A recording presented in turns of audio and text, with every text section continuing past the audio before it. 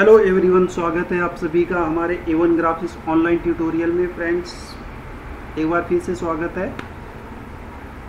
आज का ये ट्यूटोरियल एक डिमांडिंग वीडियो है। सो so, मेरा रिक्वेस्ट होगा सभी व्यूअर्स से जो भी वीडियो देख रहे हैं वीडियो को कंप्लीट देखिए। तभी आप इसके बारे में सीख पाएँगे समझ पाएँगे। सो एक बार फिर से रिक्वेस्ट करना चाहूँगा। अभी तक जिन्होंने मेरे यूट्यूब चैनल को सब्सक्राइब नहीं किए हैं प्लीज़ चैनल को सब्सक्राइब कर दीजिए, जिससे कि मैं जो भी वीडियो अपलोड करता हूँ, उसका नोटिफिकेशन सबसे पहले आपको मिलता रहे। सो फ्रेंड्स ज़्यादा समय ना हम यहाँ पे वेस्ट करते हुए यहाँ वीडियो स्टार्ट करेंगे। चलिए वीडियो की तरफ़ बढ़ते हैं और वीडियो स्टार्ट करते हैं। लेट्स बिगिन स्टार्ट इट तो फ्रेंड्स जैसा कि मैंने पहले आपको बता दिया है इंट्रोडक्शन में आज का ये डिमांडिंग वीडियो है। तो आज का ये वीडियो है, जिससे अगर आपको टेक्स्ट में थ्री इफ़ेक्ट अगर देना हो तो वो आप इफ़ेक्ट कैसे देंगे, उसके बारे में मैं आज का एक ट्यूटोरियल लाया हूँ। तो कंप्लीट ट्यूटोरियल आज का उसी के बारे में होने वाली है। अभी, अब यहाँ मैं वीडियो स्टार्ट करूँगा। जैसे कि आपको टेक्स्ट में इफ़ेक्ट देना सबसे पहले हम टेक्स्ट को टाइप कर लेंगे। यहाँ से देखिए, हमने इस तरह से टेक्स्ट को टाइप कर लिया है। और एक चीज़ इसमें ध्यान में रखना होता है, यदि आप कोई भी चीज़ को अगर इफ़ेक्ट में कन्वर्ट करना चाहते हैं तो उस चीज़ के लिए सबसे पहले आपका कर्सिव लेटर होना ज़रूरी है, जो कि हमारे ग्राफिक लैंग्वेज में उसको हम कैलिवरी फॉन्ट बोलते हैं। तो वो चीज़ आपको ध्यान में रखना है। तो यहाँ से देखिए, अभी ये मैंने इसको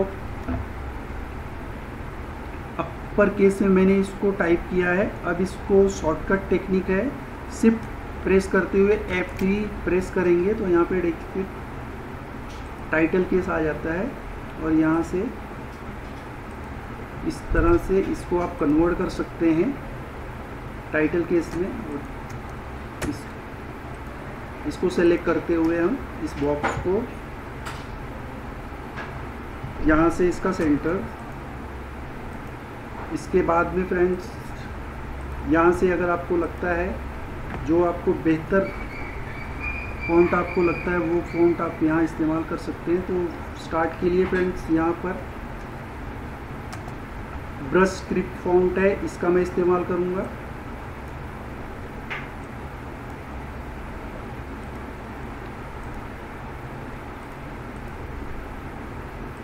और सबसे पहले देखिए यहाँ पे जो हमने बैकग्राउंड दिया हुआ है बैकग्राउंड के लिए बॉक्स जो हमने यहाँ पे रेडी किया है, इसको मैं कलर दूँगा।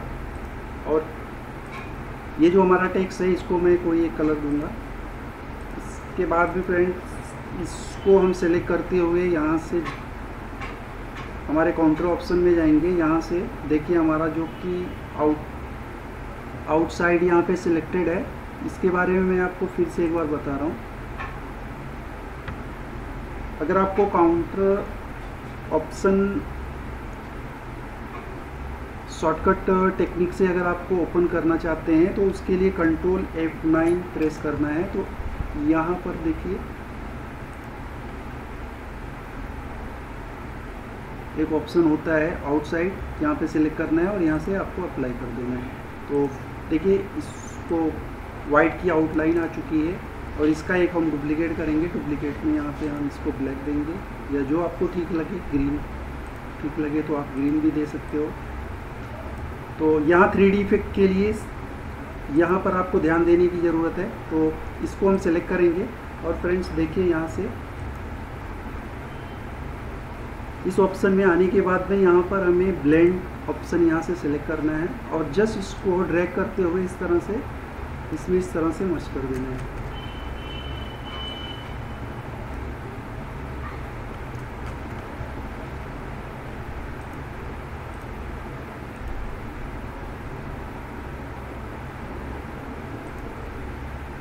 उसी तरह से अगर इसका आप रेड कलर रखते हो रेड कलर के होने के बाद भी यहाँ से ये जो वाइट है, यहाँ से वाइट में आपको सिलेक्ट करना है बस। यदि आप रेड में रेड अगर आप मैच करेंगे तो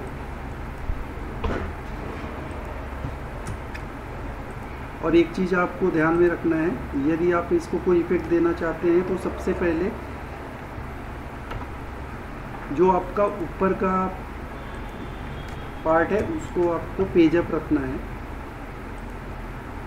अब यहाँ से हमें इफ़ेक्ट देने के लिए कलर हम चेंज करेंगे। कोई भी कलर यहाँ से अगर आप देना चाहते हैं ब्लू मैंने लिया ग्रीन लिया, कोई भी तो यहाँ से हमारा ब्लेंड ऑप्शन यहाँ से सिलेक्ट हो चुका है। अब यहाँ से वाइट तो देखिए फ्रेंड्स इस तरह से और इस तरह से एडजस्ट करने के लिए इस तरह से आप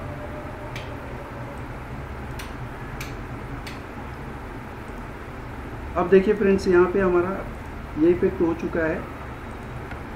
अगर आप इसको कलर चेंज करना चाहते हैं तो अगर आप इसका ब्लू कलर करेंगे तो कंप्लीट यहाँ पे पूरा इसके रेशियो में ये सारा का सारा यहाँ पे चेंज होता है इस तरह से। और इसी प्रकार से यदि आप इसको अगर कॉपी करना चाहते हैं तो सबसे पहले इसको कंट्रोल सी कंट्रोल भी करेंगे।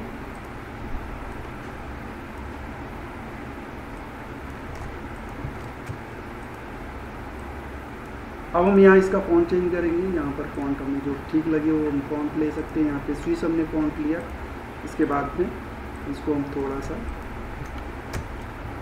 अब फ्रेंड्स सबसे पहले मैं आपको यहाँ पर बताऊँगा इसमें बेहतरीन इफ़ेक्ट देने के लिए। यहाँ पर इस तरह से एक बॉक्स बना लेंगे और यहाँ ऑब्जेक्ट में जाएँगे। ऑब्जेक्ट में यहाँ से जाने के बाद में यहाँ से प्लेस इंसाइड करेंगे और इसको अंदर साइड इसको हम इस तरह से एडजस्ट करेंगे। अब देखिए फ्रेंड्स, हमारा जो ऊपर का, जो हमारा टेक्स्ट का कलर है, वो हमने डार्क दिया हुआ है। अब यहाँ पर हम इसको लाइट कलर देंगे। तो यहाँ से देखिए, यहाँ से अब हमें इसी ऑप्शन में रहते हुए यहाँ पे हमें ट्रांसपेरेंसी ये सेलेक्ट करना है।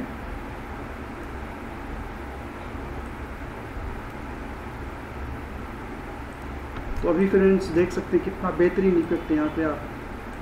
को सामने।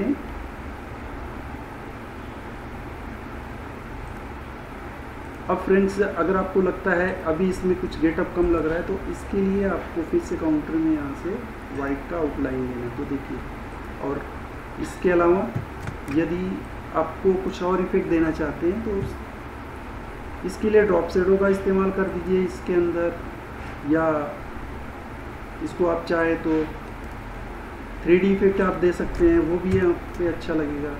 बट थ्री डी के देने के लिए यहाँ पर ये होना ज़रूरी नहीं है, ये हटा देना है। और इसका कलर यहाँ से आपको कुछ अलग रखना है। अब फ्रेंड्स यहाँ से हम इसको ब्लेंड करेंगे, इसको तरह से।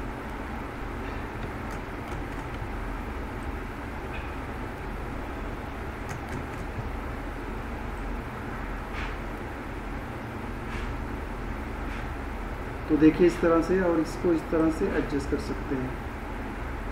तो देखिए, पहले के मुकाबले ये हमारा कितना गेटअप और अगर आप चाहें इसको सेपरेट करने के लिए यहाँ से ऑब्जेक्ट में जाएँगे, यहाँ से ब्रेक ब्लेंड फिर इसका कलर आप यहाँ से चेंज कर सकते हैं जो आपको ठीक लगे। इस तरह से लाइट कलर और इसमें भी ऑप्शन होते हैं अनग्रुप ऑप्शन होते हैं, इसमें भी अनग्रुप कर सकते हैं आप। और फ्रेंड्स, इस इसी प्रकार से एक और इफ़ेक्ट का मैं यहाँ पे नॉलेज आपको देने वाला हूँ। जैसे कि यहाँ पर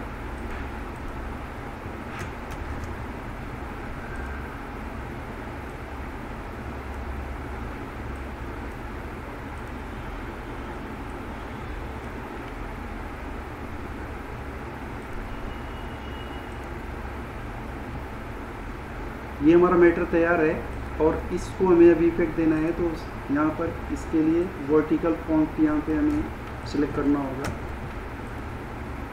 अभी फ्रेंड्स इसका हमको एक लाइट कलर देंगे। अभी इस जस्ट इसको हम सिलेक्ट करेंगे और यहाँ पर देखिए, यहाँ से एक ऑप्शन होता है ब्लॉक शेडो जस्ट यहाँ से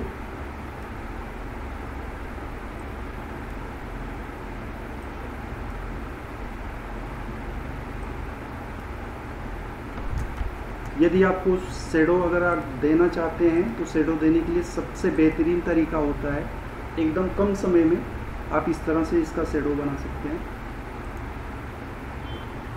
जो भी आपको ठीक लगे, इस तरह से आप टेक्स्ट का कलर आप रख सकते हैं। सो so फ्रेंड्स आज के ट्यूटोरियल में बस इतना ही।